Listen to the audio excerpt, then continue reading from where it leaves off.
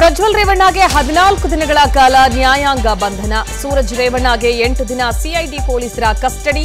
June ಇಪ್ಪತ್ತಾರಕ್ಕೆ Prajwal bail ಆದೇಶ ಕಾಯ್ದಿರಿಸಿದ ಕೋರ್ಟ್.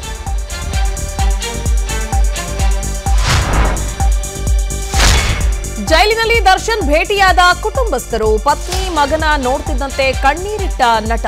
ಇತ್ತ ನಾಲ್ವರು ಆರೋಪಿಗಳು ತುಮಕೂರು ಜೈಲಿಗೆ ಶಿಫ್ಟ್.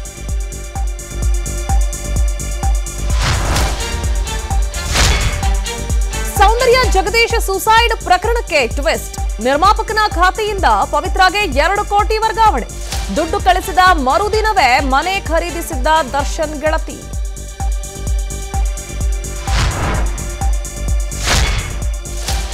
ಹೌದಪ್ಪ, ನಮಗ್ ನಿದ್ದೆ ಇಲ್ಲ. ಜನರ ಕೆಲಸ ಮಾಡಿ ನಿದ್ದೆ ಟೈಮ್ ಇಲ್ಲ. ಪಾಪ ಅವರನ್ನ ನೋಡಿ ಗಡಗಡ ನಡುತ್ತಿದ್ದೀವಿ. ಡಿಸಿಎಂ ನಿದ್ದೆಗೆಟ್ಟಿದ್ದಾರೆ ಎಂದಿದ್ದ ಎಚ್ಡಿಕೆಗೆ ಡಿಕೆಶಿ ತಿರುಗೇಟು.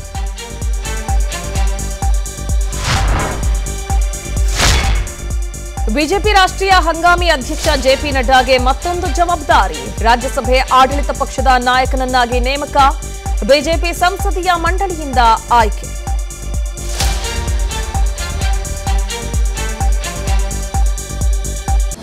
ಅನುಕ್ಷಣದ ಸುದ್ದಿಗಳಿಗಾಗಿ Vistara news YouTube channel subscribe ಮಾಡಿ. ಹೊಸ ಸುದ್ದಿಗಳ ನೋಟಿಫಿಕೇಶನ್ಗಾಗಿ ಬೆಲ್ ಐಕಾನ್ ಕ್ಲಿಕ್ ಮಾಡಿ. Latest ಅಪ್ಡೇಟ್ಸ್ಗಾಗಿ W W W dot Vistara news dot com ವೆಬ್ಸೈಟ್ಗೆ ವಿಸಿಟ್ ಮಾಡಿ. ಅಂಗೈಯಲ್ಲೇ ಜಗತ್ತಿನ ಸುದ್ದಿ ತಿಳಿಯಲು Vistara news Kannada app download ಮಾಡಿ.